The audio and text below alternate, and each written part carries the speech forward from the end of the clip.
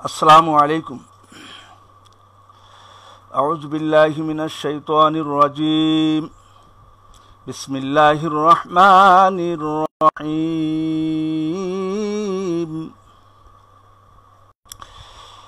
আলহামদুলিল্লাহ সকল প্রশংসা সেই আল্লাহ রাব্বুল আলমিনের যিনি আমাকে এই লাইফে আসার সুযোগ করে দিলেন আবার বলি আলহামদুলিল্লাহ এবং দরুদ সেই নবীর প্রতি যিনি, যার মাধ্যমে আমরা এই সুন্দর শান্তির ইসলাম ধর্ম আমরা আমাদের মধ্যে পেয়েছি, সেই দরদি নবীর প্রতি আমরা জানাই দরুদ শরীফ সাল্লাহ আলী সাল্লাম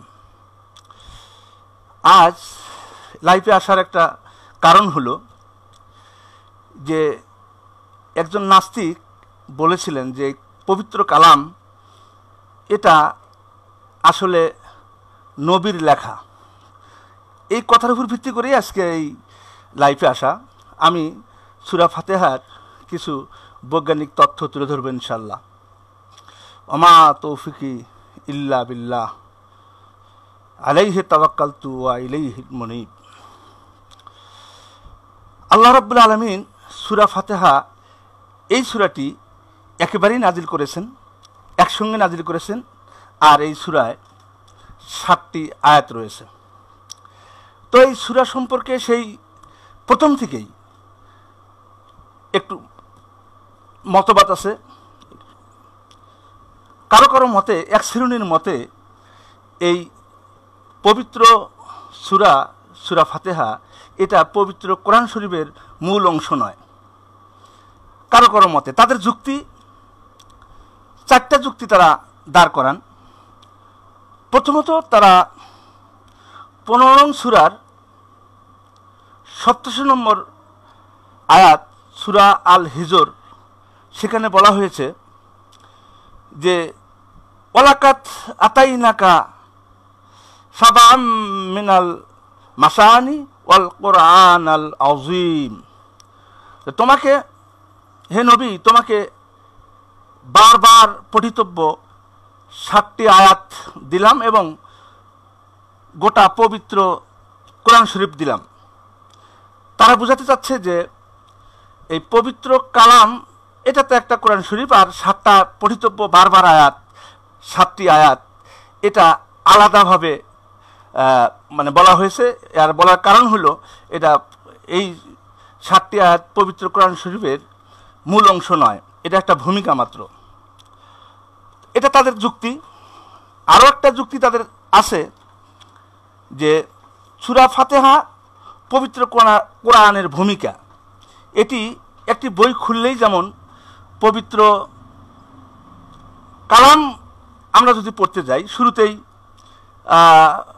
মানে সুরা ফাতেহা পড়ি, তার মানে এটা একটা ভূমিকা। বই খুললেই যেমন একটা ভূমিকা থাকে পবিত্র কালাম পড়তে গেলেও একটা ভূমিকা থাকে, আর সেই ভূমিকাটা হলো সুরা ফাতেহা।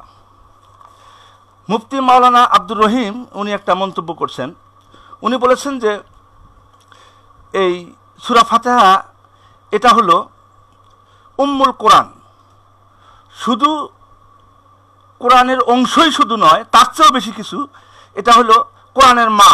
সুতরাং এটা কোরআনের মূল অংশ নয়, এটা হলো একটা কোরআন শরীফের একটা মানে ভূমিকা মাত্র।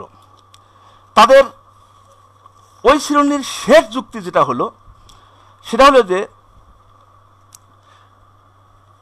সুরাবাখারার এক, দুই আয়াতে বলা হয়েছে, আলিফ লাম জালিকাল কিতাবুল রাইবাফি তো, এটা এমন একটা আলিফ লাম মিম, এর অর্থ শুধুমাত্র আল্লাহ রব্বুল্লা আলমিনী ভালো জানেন। জালিকাল কিতাবুল রাইবাফি এটা এমন একটা কিতাব যার মধ্যে কোনো সন্দেহসভা নাই।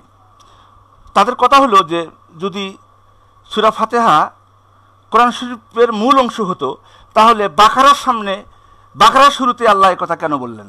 আলিফ, লাম, মিম জালিকাল কিতাবুল রাইবাফি এটা তো হওয়া উচিত ছিল সুরা ফাতেহার পূর্বে। যাই হোক, এটা আমার আলোচনার প্রতিপাদ্য বিষয় নয়। আর আল্লাহ রাবুল্লা আলমিন ভালো জানেন, আল্লাহ আলামু বি মুরাদিহি আমরা জানি যে গোটা কোরআন শরীফ আল্লাহ রাবুল আলমিনের পক্ষ থেকে হজরবাগ সাল্লাহ সাল্লামের উপর নাজিল হয়েছেন, এটাই আমরা জানি। আমাকে ভুল বুঝবেন না, জাস্ট একটা মতবার্তা আমি তুলে ধরলাম আর কি। তো এই সুরায় ষাটটি আয়াত আমি আগেও বলেছি, যে সুরাটাতে, সুরাটার সাতটা আয়াত আছে। সাতটা আয়াত যদি আমরা দুইটা ভাগ করি, তাহলে এক, দুই, তিন, আর পাঁচ, ছয়, সাত।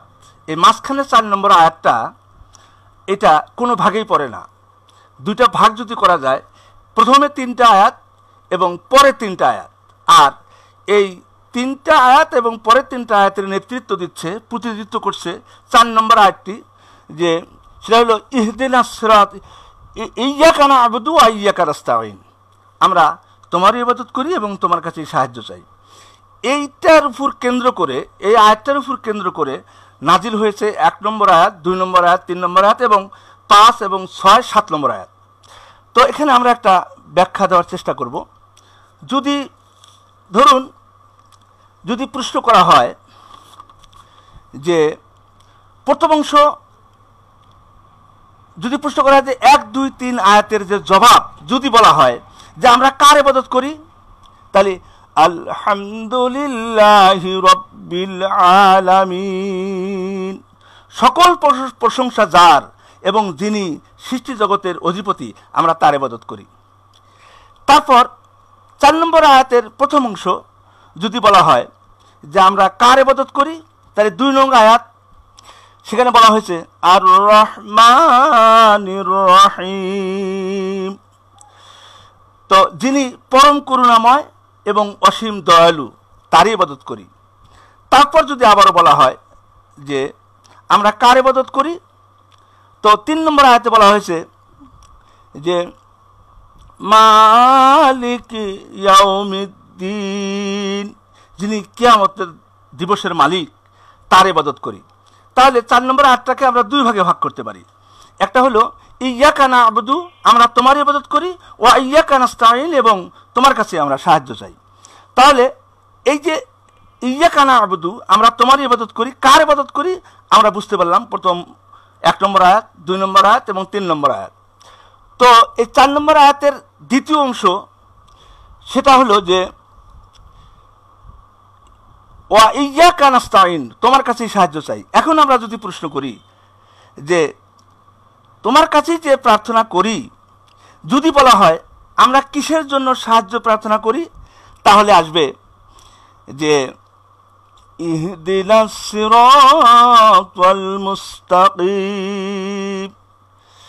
যে, যাতে আমরা সহজ, সরল, সঠিক পথে চলতে পারি, আমরা তার জন্যেই আমরা সাহায্য চাই। আমরা সাহায্য চাই যাতে সহজ, সরল, সঠিক পথে আমরা চলতে পারি। যদি বলা হয়, আমরা কিসের জন্য সাহায্য প্রার্থনা করি? তাহলে ষষ্ঠ আয়াতে বলা হয়েছে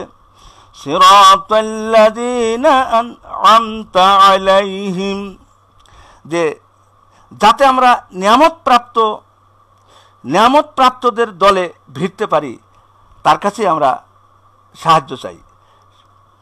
যদি বলা হয় যে আমরা কিসের জন্য সাহায্য প্রার্থনা করি? তাহলে শেষ হাতে মানে শেষ অংশে বলা হয়েছে, গায়রিল মাগদুবি আলাইহিম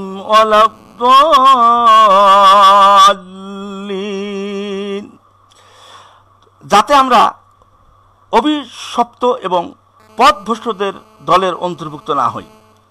সম্মানিত দর্শক যারা অনুষ্ঠান দেখছেন, তা আল্লাহ রবুল্লা আলমিনের এই সাড়ে চোদ্দোশো বছর আগে যে এই পবিত্র কালাম আল্লাহ নাজিল করেছেন। দেখেন কি বৈজ্ঞানিক ভিত্তিতে আমরা যদি বিচার করি, কত সুন্দরভাবে আল্লাহ রবুল্লা আলমিন সাজিয়ে দিয়েছেন যে আমরা আসলে সাহায্য চাই আল্লাহর কাছে এবাদত করি, ওই আল্লাহর এবাদত করি। আমরা যদি এক এক, একভাবে, প্রথম থেকে যদি আমরা অর্থ বলি, তাহলে আমরা কি বলতে পারি? যে যিনি পরম করুণাময়। প্রথম বলা হচ্ছে সকল প্রশংসা যার এবং যিনি সৃষ্টি জগতের অধিপতি। দ্বিতীয় বলা হয়েছে যিনি পরম করুণাময়, অসীম দয়ালু এবং তৃতীয়তে বলা হয়েছে যিনি বিচার দিনের মালিক।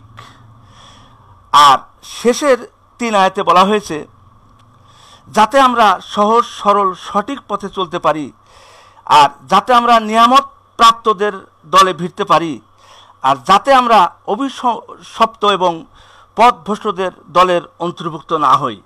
এই যে তিন তিন ছয়টি আয়াতের নেতৃত্ব প্রতিনিধিত্ব করছেন চার নম্বর আয়াত, ইহদিনা ইয়া কানা আবদু ওয়া ইয়া কানাস্তাইন আসলে এটা যে উম্মি নবীর পক্ষে সাল্লা সাল্লাম, তার পক্ষে যে এটা লেখা সম্ভব নয়, এটাই তার বাস্তব নমুনা। একসঙ্গে নাজিলকৃত এই আয়াত, কি সুন্দর মিল একটার সঙ্গে আর একটার আর এই পবিত্র সাতটি আয়াত বারবার পঠিতব্য যেটা বলা হয়েছে, এটা একটা দোয়া। আর এই পবিত্র সুরাটির বেশ কয়েকটি অর্থ আছে, প্রায় উনিশটার মতো অর্থ আছে। তার মধ্যে একটা হলো ফাতা খোলা, তারপর দোয়া, বিভিন্ন রকমের অর্থ আছে। যাই হোক, আমি সংক্ষিপ্তভাবে কিছু আলোচনা করার চেষ্টা করলাম। যে সমস্ত নাস্তিক ভাইয়েরা, তারা মনে করেন আল্লাহর কালাম, মানুষের লেখা, আমি তাদের বলব যে আসলে আপনারা আসুন, কোরআনের কাছে আসুন, আপনারা কোরআন খুলুন, বুঝুন, আপনার ব্রেন খুলে যাবে। তো যারা দেখছেন আমার এই লাইভ অনুষ্ঠান, আমি তাদেরকে ধন্যবাদ জানাই এবং আমার জন্য দোয়া করবেন যাতে মাঝে মাঝেই লাইভে আসতে পারি এবং কিছু আলাপ আলাপ আলোচনা কিছু যে কোনো বিষয় নিয়ে আলোচনা করতে পারি, আলোচনা রাখতে পারি। এই দোয়া কামনা করে আমি আজকে এখানেই বিদায় নিচ্ছি। আসসালামু আলাইকুম ও রহমতুল্লাহি ওবরকাতহ